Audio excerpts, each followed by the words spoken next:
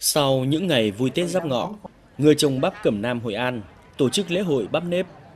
Lễ hội độc đáo từ tên gọi, nghi thức tế lễ đến các hoạt động mang đến nhiều dư vị lạ cho du khách và người dân phố hội. Từ sáng sớm, dòng người đổ về quảng trường rộng bên bờ sông Hoài, nơi diễn ra lễ hội bắp nếp Cẩm Nam. Hơn 10.000 trái bắp nếp được sử dụng, phục vụ lễ hội với màu sắc không gian làng nghề truyền thống.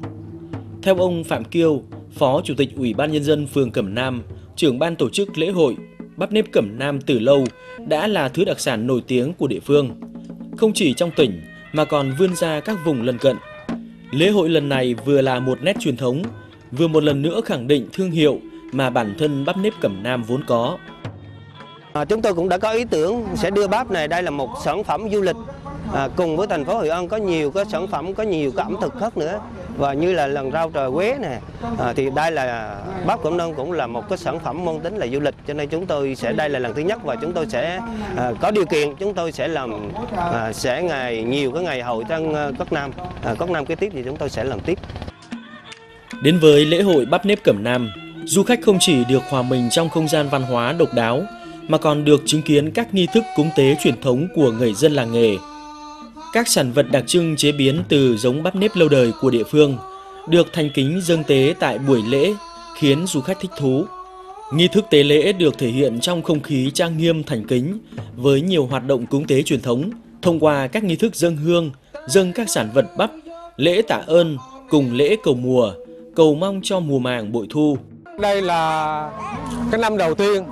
của phường Cẩm Nam chúng tôi, thành phố Hội An tổ chức cái lễ hội bắp nếp kêu gọi những cái lò bắp đã từng nấu bắp ở Cẩm Nam để về đây tề tự với nhau mà nấu bắp. Nhờ cái sự cộng đồng giúp đỡ của tất cả đơn vị của tỉnh và thành phố giúp đỡ. Và cái hậu thế tụi tôi giữ vững cái này và lưu truyền về sau mãi mẻ như vậy. Toàn ngày của mình vẫn Nghi thức tế lễ được thực hiện sau mỗi mùa thu hoạch, bày tỏ sự tri ân đối với tiền nhân, với nghề đã nuôi sống làng, nuôi sống người dân Cẩm Nam. Năm nay chương trình tế lễ được đưa vào lễ hội quy củ và đầy đủ nhất so với những năm trước. Khi lễ tế diễn ra, những lò nấu bắp cũng bắt đầu nổi lửa. Với 6 nồi nấu cỡ lớn, đủ sức chứa 1.000 trái bắp mỗi lần nấu, phục vụ miễn phí cho hàng ngàn du khách đến tham gia lễ hội. Được tận mắt chứng kiến các công đoạn chế biến, thưởng thức các món ăn dân dã từ bắp nếp, nhiều du khách trở nên thích thú và ngạc nhiên trước những sáng tạo của người dân xứ Cẩm Nam. Không chỉ hấp dẫn du khách bằng các món ăn chế biến từ bắp, lễ hội bắp nếp Cẩm Nam còn là nơi trình diễn khả năng sáng tạo với sân khấu,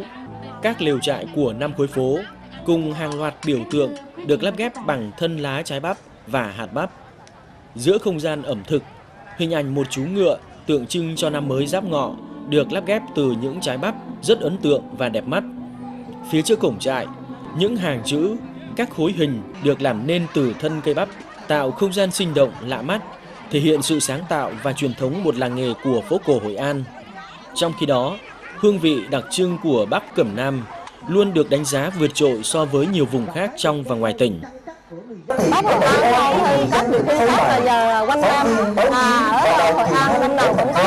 có bão lụt về cho nên à, lụt về là phù sa nó à, phù sa nó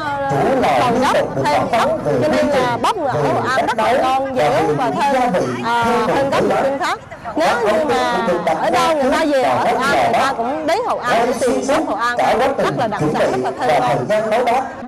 Vượt qua khuôn khổ của một lễ hội thông thường,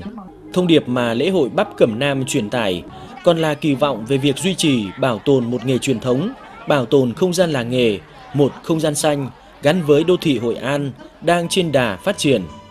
Bởi vậy, không gian xanh ở khu vực vệ tinh như Cẩm Nam đang là một trong những định hướng của địa phương trong thời gian đến. để nhằm phục hồi lại những nghề trồng bắp mà có từ rất xa xưa mà trở thành văn gọi là văn bóng một thời trước hết là ý nghĩ như vậy nó mang tính văn hóa đấy bởi vì ẩm thực nó cũng món văn hóa là món ẩm thực cũng là một vấn đề văn hóa vấn đề thứ hai nữa là cũng một cách để chúng ta làm du lịch. Bởi vì có khi đấy là nhu cầu du khách bây giờ không phải những món, món co lương nữa mà bây giờ họ cần những món dân dã. Mà có lẽ là cái món dân dã đó nó là đậm lại trong họ rất là lớn. Vấn đề thứ ba nữa thực ra trồng bát thì người dân Cẩm Nam ai có đất các cồn bãi người ta đều trồng được. Thì như vậy á, là nó du lịch nó còn mang cái ý, ý nghĩa cộng đồng. Có nghĩa là người mọi người dân hưởng lợi từ du lịch không chỉ các dịch vụ các khách sạn mà còn hưởng lợi từng cái bát và từng cái ra mà chính chúng tôi muốn cầu điều đó để nâng đời cái đời sống nhân dân lên. Và điều thứ tư quan trọng hơn, tức là lâu nay người ta vẫn vốn yêu đất và bây giờ đấy, cái tốc độ đô thị hóa ngày còn rất là mạnh mẽ và rất nhanh, mà thiếu quy hoạch người ta sẵn sàng các vườn các ruộng các đất ra để người ta xây dựng bê tông lên. Thì bây giờ muốn xây dựng ở An thì phải có những cái làng quê có những không gian của nó. Không gian xanh thì chính bản thân nếu cái này phát triển kinh tế nó phát triển lên nhé, thì chính bản thân người dân ấy người ta sẽ giữ mạnh vườn để người ta trồng bán và người ta thấy cái thu nhập nó sẽ cao hơn. Vượt qua khuôn khổ của một lễ hội thông thường, giữ cây bắp và nghề trồng bắp là giữ lấy vườn, nếp làng, giữ lấy một điểm nhấn về văn hóa truyền thống của Hội An, để người dân quay trở lại với mảnh vườn, với thứ cây đã và đang được kỳ vọng có thể nuôi sống họ.